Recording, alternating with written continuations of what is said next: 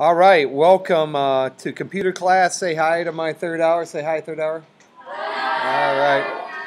Today we're going to talk about a little bit of issues that we're having with Blogger and using our uh, blog account. You've created your blog account, and at this point you have created a new blog. And so I'm going to create, I have four created here, so I'm going to go down to my Coach Z's blog.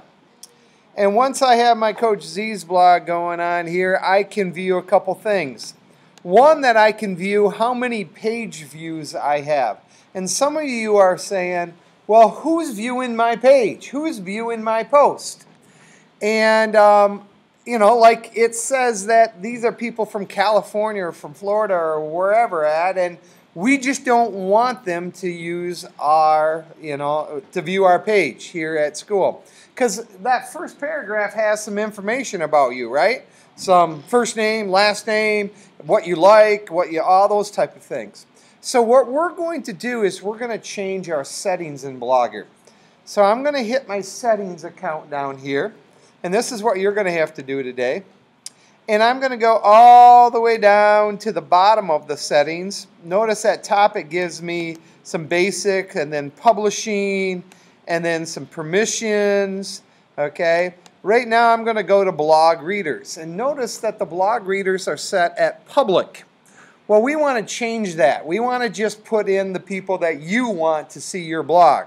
So I'm going to put edit, push edit, and notice that it gives us some options. Okay, public, private, only blog authors, private, only these readers. That's the one I want to use.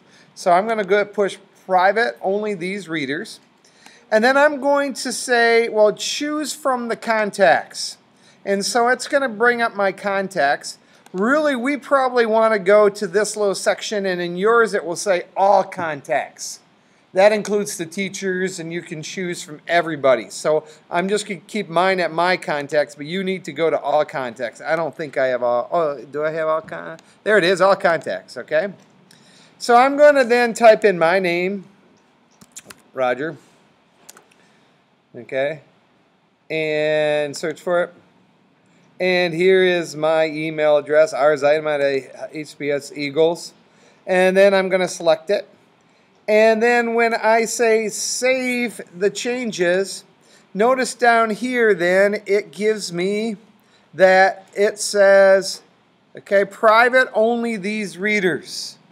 Okay, and I can add more readers. Let's see who's reading over here. Okay, I could add choose from contacts.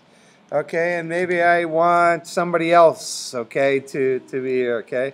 But I'll just put pick, let's say I want you my mom or dad, or I'm going to go Roger again and type in, click in this one, select it, and say Save Changes, and now I am in there once again, okay? So you need to put your name, or my name in there, so I can read it. You could put a few of your podmates in there, and you could put maybe your mom and dad's email address and that kind of stuff so they can read it too.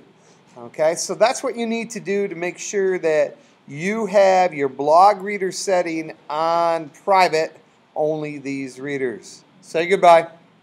Bye.